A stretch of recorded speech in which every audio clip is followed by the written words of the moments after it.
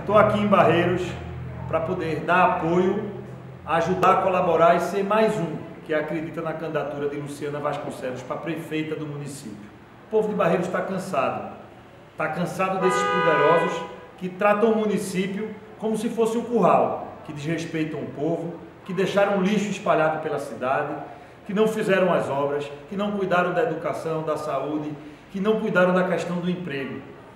Quando chega na eleição, eles derramam dinheiro para comprar o voto. Depois passam quatro anos juntando dinheiro para comprar de novo. A gente quer fazer uma política diferente. Nós queremos falar com as pessoas dizendo a verdade e governar com decência e com honestidade.